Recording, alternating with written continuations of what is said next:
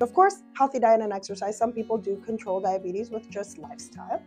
Um, metformin is the first line medication for now. There's a lot of really exciting new oral medications that are passing with the FDA. So um, that's actually changing pretty rapidly. But so far, metformin seems to still be uh, first line. The only bad uh, side effect from metformin is that it does give you diarrhea, nausea, and vomiting. But what I tell patients is that typically um, lasts for about two weeks and then it goes away.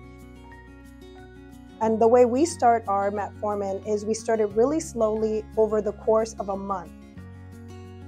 No matter how well your diabetes is controlled, every diabetic patient wants to be on a cholesterol uh, lowering medication to either keep cholesterol low or to prevent heart attack and stroke.